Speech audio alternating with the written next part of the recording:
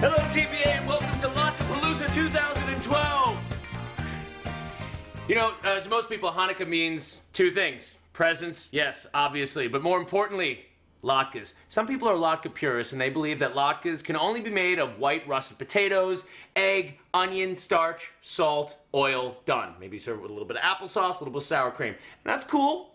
If you're in that camp, we got you covered. We're gonna do a classic latke. We also have some cool latkes that we're gonna do. We're gonna do one with some beets, parsnips, some green onion, as well as potato. And we're gonna finish it up with a dessert latke, a sweet potato dessert latke that is incredible. So come with me on my journey. Okay, so we're gonna start with a classic potato latke. I got two medium-sized potatoes here. To make fresh, great latkes, you gotta peel some potatoes. You wanna get the peels off because you want that nice, beautiful golden color. If you leave the peels on, your latkes will be fine, but they're gonna get a little bit dark. So I've got russet potatoes, which have the perfect starch content for a nice crispy latke. This is a really important technique to getting a really crisp latke, and that's to get all the moisture out. So what I have here is some cheesecloth you can pretty much get from any grocery store, right? And I've placed that over a bowl, and I'm gonna grate these right into the cheesecloth. Now, I, I like to hold the potato lengthwise and go along the grater so I get nice long shreds because I want the latke to have those lacy, super crispy edges. I mean, that's the best part about a latke, right? You get really crunchy on the outside, and it's a little bit soft and fluffy on the inside. Now, when I get to this point with the box grater, I, I mean, I could keep going, but at some point, you're gonna grate some of your finger into the potato, and if you're having a dairy meal, finger is not parve. So I would just save this for something else or, or, or toss it, move on to your next potato. And now is the very important moisture removal portion of the latke making. Initially, I'm gonna just take these by the handful and give them a little squeeze. All right. Now that was our initial drying of the potato, but now what we're gonna do is employ some salt. The salt is actually gonna help pull out even more water. So I'm gonna take one and a half teaspoons of kosher salt, and I'm gonna toss this through. The flavors for a latke are pretty simple, so you get a lot of the flavor from the plain old onion. So what I'm gonna do is here is just take the peel off this onion and we're actually gonna grate the onion and create like onion juice. Uh, I just, I love latkes so much. We have potato, we have onion, and now we start to squeeze. For the final squeeze, I'm gonna be using some leverage. So I'm gonna gather the cheesecloth all around this uh, wooden spoon here. So I have the onions and the potatoes, and then I'm just gonna get a nice good twist. And this, you just see this starts to act. I just twist this spoon here, and you just see how much you really get out of there. A lot of the potato starch has settled onto the bottom of the bowl. We actually want to use that potato starch because it's going to help make a crispy latke. So if you pour out the water, you'll see that the potato starch has just settled. See that? White on the bottom. Perfect. Let's bring it together. Have one egg, half teaspoon of salt, about a quarter teaspoon of a coarse black pepper. And we're going to start with about two tablespoons of flour. Optional here, I'm going to add a half a teaspoon of baking powder. It's optional. What that does is it creates air pockets inside of the latke. It makes for a little bit of a fluffier inside. Some people don't like to go that route. That's cool. That's up to you. Now I'm going to bring together the starch, the egg, the flour, the salt, the pepper, and the baking powder. And then into that, and we're just going to fold this all together. And you see now all of our hard work, their squeezing has paid off because you see how that mixture is just nice and together. And you know what? Sometimes spoon just doesn't get the job done. Sometimes you just got to get your hands in there. You know what I mean? You know what I mean, TBA? You got to get your hands in there. And that is a really, really nice mixture. We didn't have to add a lot of flour, just a couple of tablespoons. And now it's time to celebrate the Festival of Lights. I mean, what are we really gathered here for if not to celebrate the oil? So, we have the oil, we have our potato mixture, and we have a cast iron skillet. Very important that our oil is at the right temperature to prevent greasy latkes. If the temperature is too low, it's going to soak up a lot of oil, and we don't want that. So, how do we test that you have the right temperature? Well, you can use a digital thermometer. 375 is actually good because as we start to add the latkes, the temperature is going to drop and we want the oil to come back. But if you don't have a if you don't have a thermometer, then what you're going to have to do is sacrifice one shred of potato. And if he dances, if the potato dances like a Maccabee celebrating the Festival of Lights, then, my friends, it is time to fry.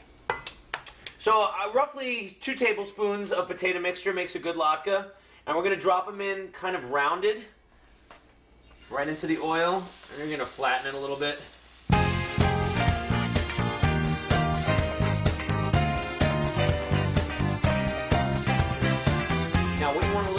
Time to flip the latke, you can see how the edges start to get a nice deep golden brown. To avoid a flip and splash, I like to use two smallish sort of spatulas so I can get in there. So you can see I use one to kind of scoop and then one just go, oh, that looks good. I would say that's about perfect latke color. Beautiful. So I'm going to remove these to paper towel. A little bit of salt on top. And they are never going to be quite as good as this. You see, look at all the great lacy edges you got. So that's going to be extra crispy. It'll be nice and fluffy inside. I know these are going to be really hot. Let's do that.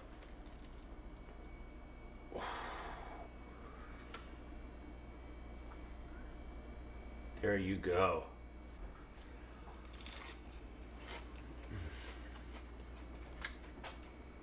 That is such a great classic latke. Super crunchy on the outside, a little bit soft on the inside. Perfect. For many of us, latkes begin and end here with this classic. However, we're just getting started. So now we're preparing for an alternative take on the latke. We're calling this the root vegetable latke because, why, that's right, you guessed it. We're using some root vegetables. The root vegetables we're using are beets because they're great. They're going to make it a really, really cool color. And parsnips because they're like carrots but cooler. They're kind of like the redheaded stepchild of the carrot. Like the parsnip will show up in a soup in the background, but nobody ever brings the parsnip up to focus. So we're gonna give the parsnip some love. Take the top off. Well, I just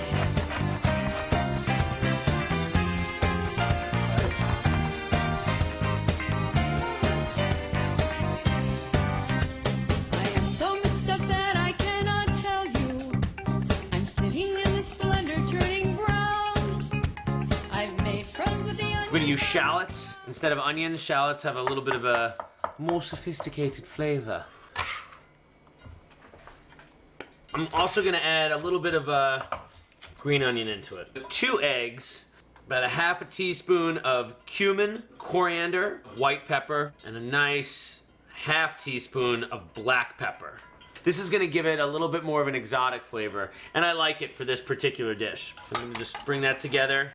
Half a teaspoon of baking powder, another half a teaspoon of salt, and then in we go. About a quarter cup of flour. Again, because of the lack of starch and the beets and the parsnips, I'm gonna add a little bit more starch to this one, then I'm just gonna bring this together. This is why I like to put the scallions in there. You see how those just nice little flecks of green pop out and all the pink and the red? Kind of looks like a flannel shirt I used to have. If this starts to give up a little bit more liquid, I might add a tablespoon or two more flour. But at this point, I'm ready to go into the oil. So before this starts to give up more water, let's head into the hot oil and make the root vegetable latke.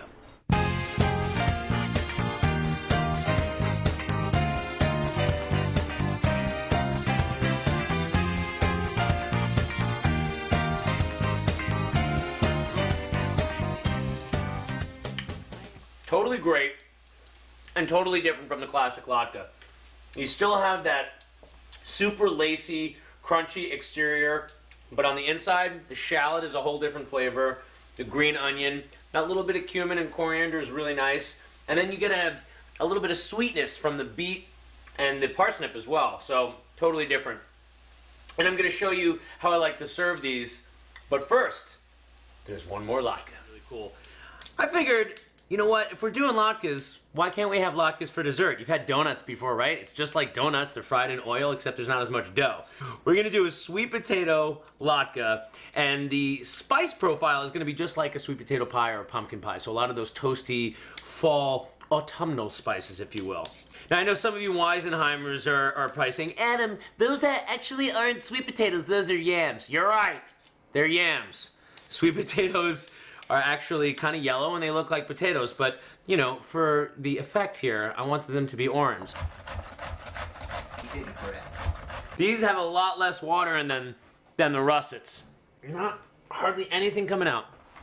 But we're gonna do that same move. We're gonna toss them with a little bit of salt, and that is gonna pull some more water out. Two eggs, brown sugar, nutmeg, clove, ginger, cinnamon, pinch of salt. Some people say that they don't like clove or they don't like nutmeg. I think people tend to use too much of these spices. So go easy. With one teaspoon of baking powder.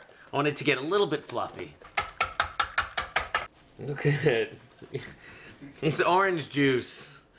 But not really. It's not really orange juice. But you know, some orange zest would be really good in this too. You could also throw a little bit of bourbon in this one. You could also put another half a teaspoon of chipotle powder in this one, if you're into that kind of thing. A little bit of kick, a little bit of smokiness. I've done that. See, I think that's the whole point. Is we're saying like making a latke is pretty simple. Making a latke is it's eggs, it's starch, it's potato, and then you could you could have fun with it. Do some stuff with it. Now you look at all this liquid that's coming out here, and you saw before I did that salting move, nothing was coming out. And this really is the trick. I'm telling you, I've, I've made latkes a bunch of different ways, and when you don't go to that extra step to get the moisture, it'll be good. It'll be a little crunchy. It'll be like, eh, crunchy. But this, they get crispy. Oof. And they go. Look at that. About a third of a cup of flour on this one. And again, employing the best mixer. Oh, by the way, I didn't show you, but I used freshly ground spices. If you can, I recommend buying whole cloves, whole cinnamon, whole nutmeg.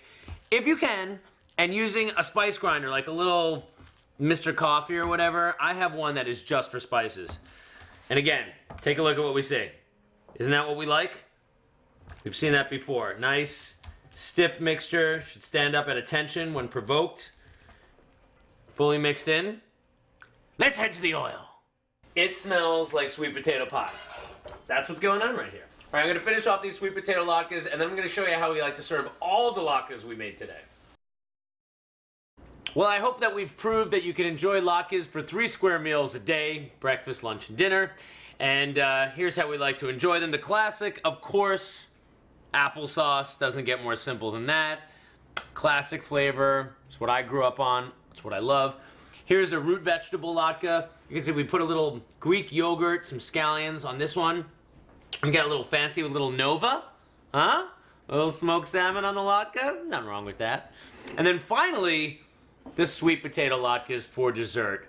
But you know what? They look they look like they need something. That's right. What do they need? Sweet potato latke with vanilla ice cream. I hope you latke purists will indulge me as I enjoy this. Enjoy your Latkepalooza. TBA, keep it real. See you next year. So mm. wow. Splendor, mm. I've made friends with the onions and the flour. Yeah. And